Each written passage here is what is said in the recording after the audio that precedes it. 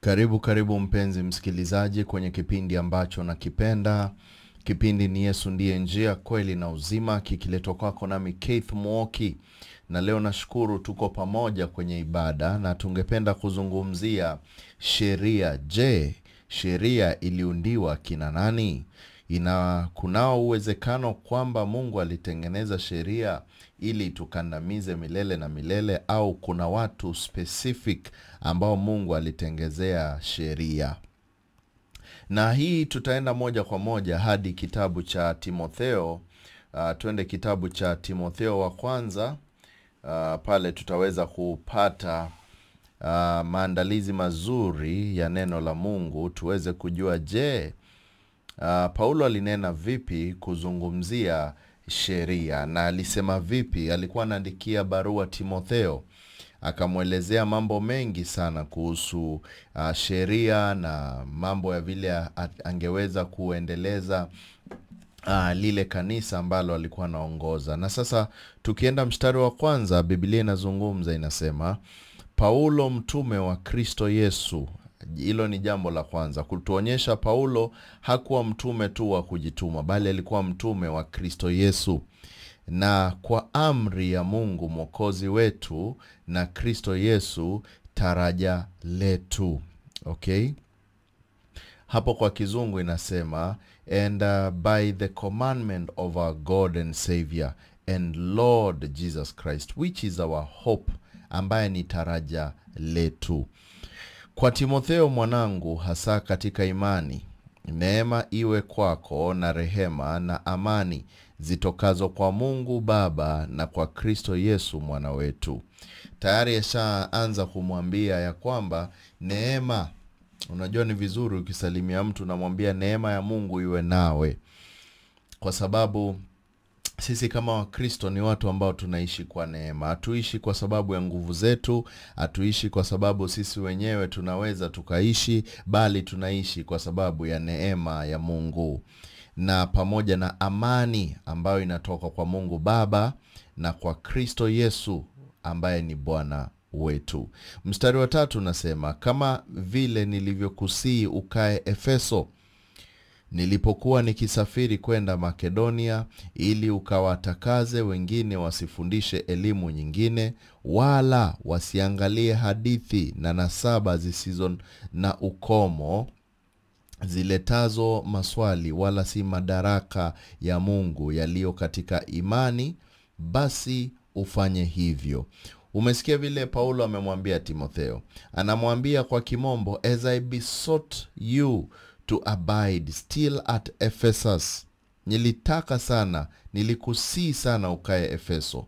When I went into Macedonia, nilipokuwa nimesafiri kwenda Makedonia, that you might charge some that they teach no other doctrine, ili watakaze wengine wasifundishe elimu nyingine. Hivi kumaanisha kunao watu walikuwa wanafundisha elimu tofauti elimu tofauti, kitu tofauti kutoka kile ambacho Paulo alikuwa amefundisha, na sieti kwamba walikuwa wanafundisha kuwa shetani ni Mungu, hapana, lakini walikuwa wamecorrupt ile injili ya Mungu, wameiongeza chumvi, wameongeza maneno yao ili waweze kuonekana wao ndio wako na e, ukweli zaidi ya yale maandiko yalivyozungumza au yale Paulo aliyozungumzia na tena mstari wa nne tumeona unasema e, wala wasiangalie hadithi na nasaba zisizo na ukomo, neither give heed to fables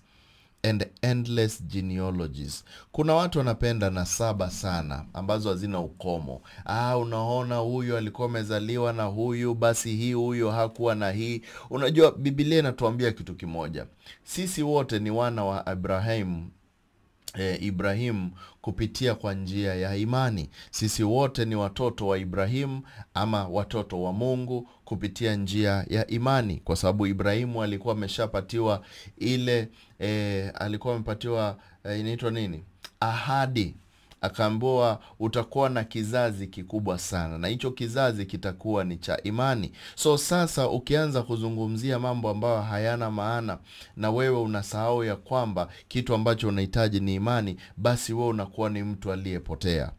okay na ndio tunaona kulikuwa na watu walikuwa wanafundisha mambo ambayo hayakuwa yanaeleweka na ndio paulo anazidi anasema which minister questions yaani ziletazo maswali wala si madaraka ya mungu yaliyo katika imani. Which minister questions rather than godly edifying which is in faith. Do so ama so do okay? Basi hufanye hivyo. Kwa sababu haya maswali maswali mengi ambao watu wanayaleta kwa meza uh, kuhusu eh, mambo ya mungu na hii na ile. Ni, ni hadithi tu. Wengi wanapenda hadithi sana. Wanapenda kuzungumza mambo ambayo hata hayawezi ongeza imani ya mtu wala hayo maneno wanazungumza hayawezi yakakomboa mtu yoyote. Kama mtu akikuja anze kukuambia vitu ambavyo havina maana anakuambia kuhusu uh, tuseme nini? Kuhusu eh, zile stori za kitambo za bibilia ambazo tayari tunajua vizuri sisi wote tushaondoka tuko tena kwa ile mambo ya sheria. Mwingine atakwambia oh lazima utoe fungu la kumi kulingana na maandiko yalivyoandikiwa waisraeli. Alafu anaanza kukuambia oh unajua hii tuliambiwa lazima tuifate tufate hii tufate. Yani ni kana kwamba nataka kukukimbiza kuingize kwa mitindo ambayo si eti inaweza ikakupa imani ukombolewe lakini hii mitindo ni ya kukufanya wewe mwenyewe uchoke ukuwe hauna tena lengo la kumfata mungu bali unafuata ile mitindo zile traditions. Watu wanapenda traditions sana. Tulipata kanisa letu likifanywa hivi tulipata wazee wetu wakifanya hivi wakifanya hivi. Ni kana kwamba vile kwa mfano eh, kwenye jamii za kiafrika watu wakienda kuoana au kuolewa unasikia kuna mbuzi watatu lazima watolewe. Hao mbuzi watatu wa kwanza ukienda kumtafuta msichana lazima mbuzi mmoja akatwe shingo amwage damu yake aa, kwa hiyo boma na baada ya hapo kuna wengine lazima sijui waliwe asubuhi wafanyiwe vitu vingine. Unasikia eti ukienda kwa msichana kabla muoane siku ya kwanza lazima u, u, e, m, m, kijana hafai kula kuku. Kuna traditions tofauti tofauti ambazo unasikia. Unajiuliza traditions hizi zote kwa kweli ni nzuri lakini hazina maana kwa sababu ni traditions ambazo hazieleweki mwanzo, mwanzo wake ulianzia wapi je ukipata hiyo damu ni baadhi ya mazile kafara ambazo zinafanywa. Na watu wamekuwa wakifata zile kafara labda bila kujua wewe mwenyewe pia utazungu, utazunguka tu uende ukafanya zile zile kafara.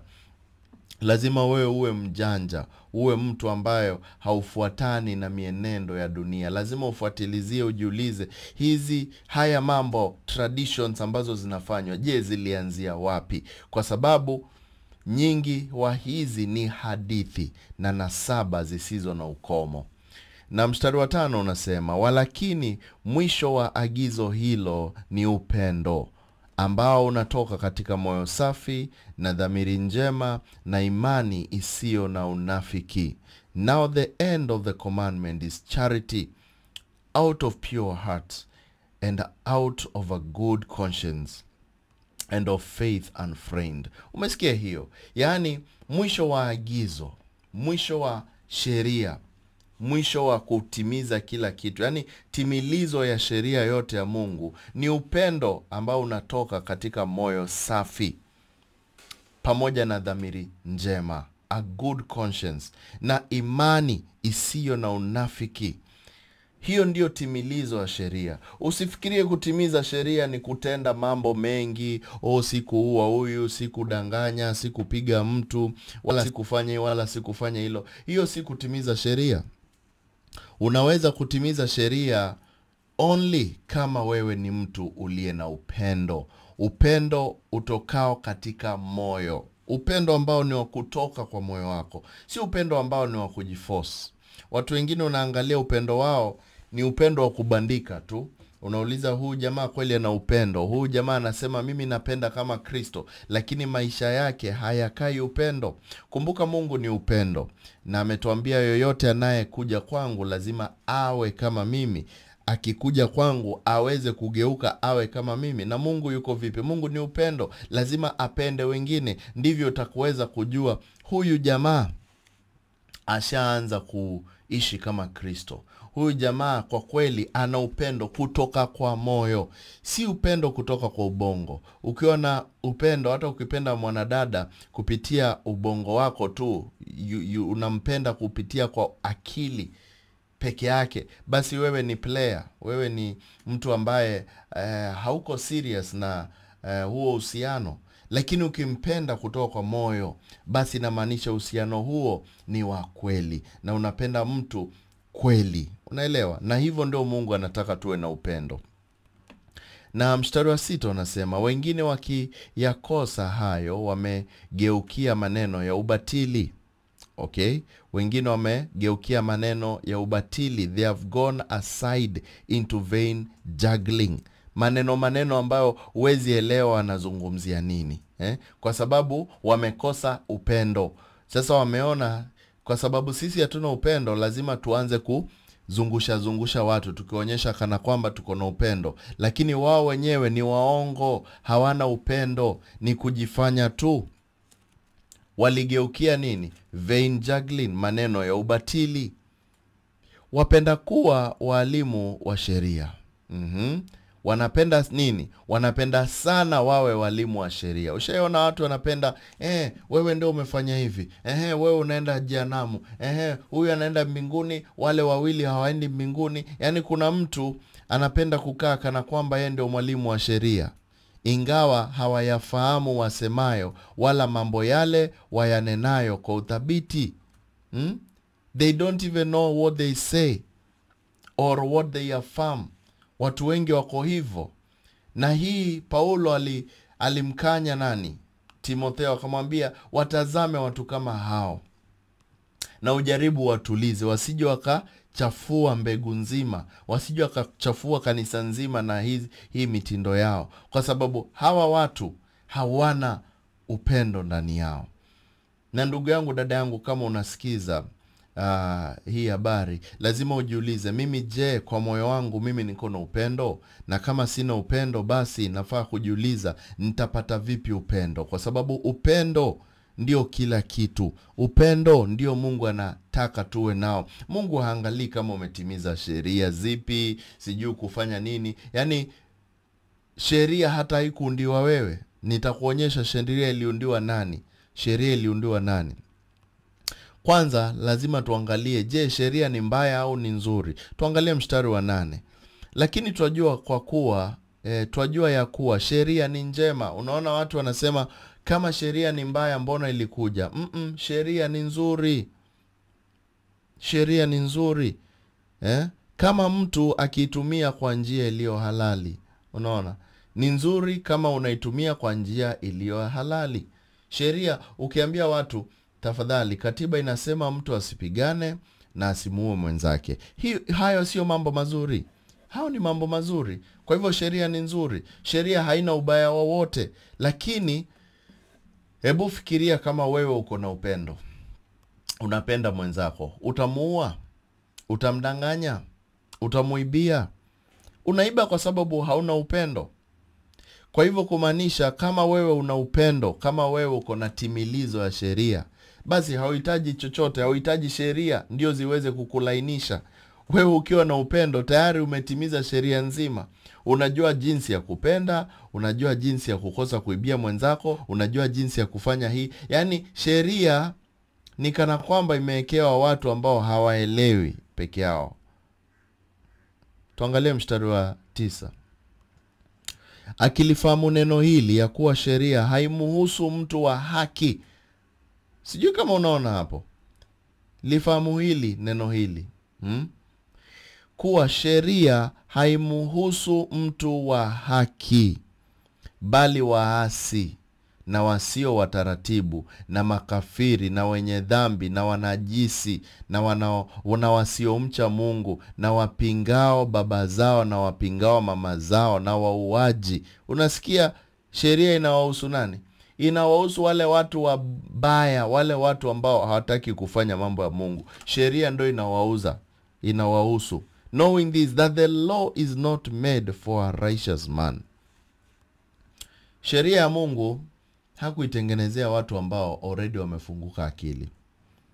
Ni kama vile waweza kuwa na umeweka sheria kwa nyumba yako remote ya tv isishikwe umesema kifunguo cha gari kisishikwe kisu kizishikwe, watoto wote wakae kando wasiguse kisu wasiguse sifuria wasiguse moto wasiguse chochote. Umeweka sheria. Lakini hizo sheria je nikuulize utaziweka milele?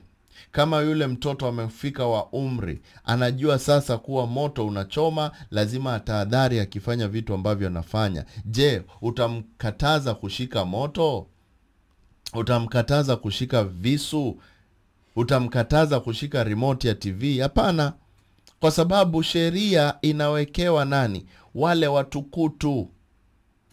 Kama wewe si mtukutu basi unafanya nini kwa sheria? Mungu ameweka sheria ili akulinde tu ili ile agano iweze kufika. Ile ahadi ambayo aliweka aliahidi. Akasema kuwa sisi sote tuta, e, tuta tutafanywa haki kupitia kristo yesu.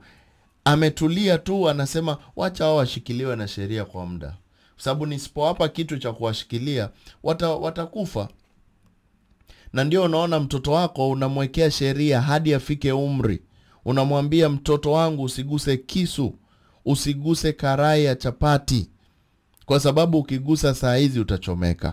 Saa hizi haujafikia umri. Kwa hivyo inabidi nikuwekee sheria lakini akifika wa umri basi sheria haina maana tena kwake. Msichana wako ameolewa ako kwake ako na mme wake unaanza kumwambia sheria oya usishike karai ya chapati atampikia mumeo vipi? Mme wake vipi? Atakula vipi na watoto wake? Sasa sheria ni ya wale ambao ni wadogo wale ambao akili zao hazijafunguka. Na ndio unaona inasema haimhusu mtu wa haki bali inawahusu waasi wasio wataratibu makafiri wenye dhambi wanajisi wasiomcha mungu wapingao baba zao na wapingao mama zao na wauaji. Au ndio watu eh, ambao wamewekewa eh, sheria. Na wazinifu na wafiraji na waibao watu mm? na waongo na waapao kwa uongo na likiwemo neno lote linginelo lisilopatana na mafundisho yenye uzima unasikia kama there is any other thing that is contrary to sound doctrine hao ndio wamewekewa sheria na paulo anazidi anasema kama vi, vile ilivyonenwa katika habari njema ya utukufu wa mungu aimidiwaye niliyoweka amana. Umesikia vile amesema? According to the gospel of the blessed god which was committed to my trust. So hao ndio waliowekewa sheria. Na ukielewa nani wamewekewa sheria basi wewe mwenyewe hautaishi kwa ile sheria. Utajua kitu unahitaji ni upendo na kumjua mungu. Na nakuja sehemu ya pili ambapo naenda kukuzungumzia ni kuelezea hata zaidi kuhusu hii sheria na nani ambao wamewekewa. Ndio wewe uweze kuona kwa kina na ufunguke macho yako na ukweli utakuweka huru. Jina langu ni keith mwoki. Kipindi ni yesu ndiye njia kweli na uzima. Keti nami usiondoke tutakuwa sehemu ya pili tunaregea